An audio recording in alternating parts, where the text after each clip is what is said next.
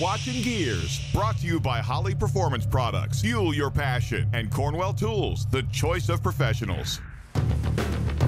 The internal combustion engine is a marvel of engineering. You take liquid fuel and run it through a series of gears and valves and metal parts, throw in some fire, and you end up with a machine that has the potential for tremendous power, depending on how much fuel you shove into it.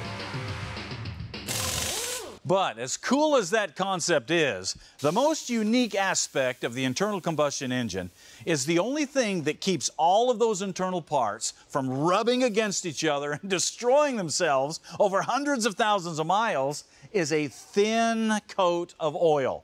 So obviously engine lubrication is extremely important if you want your motor to survive. Fortunately, oil has changed a lot over the years, with simple cans of oil giving way to multi-viscosity synthetics and blends that can overwhelm you at the auto parts store. But as good as the new oils are, they can be better. And that's why there's a lot of additives on the market too. Some actually work.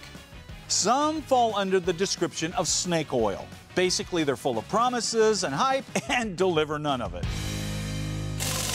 But there is one company out there that claims that their products are based off of science, not hype.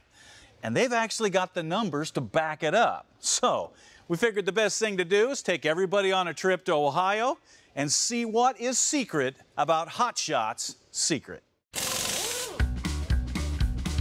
The first person we ran into was founder Chris Grabelchek, who started Hot Shot Secret in his garage. And I was working by myself, and I at the time I had a, a 30 by 40 pole barn on our property out. It's about 10 minutes from here. Basically, I would keep enough stock for my customers, and then a lot of stuff I would drop ship. So it was like a stocking distributor type of scenario. And my goal was you know, be done by noon on Friday and take my kids camping or fishing or something. So it wasn't this intense business plan. There was no big vision for a big company. But Chris isn't your average gearhead. He's a tribologist whose field of study is friction.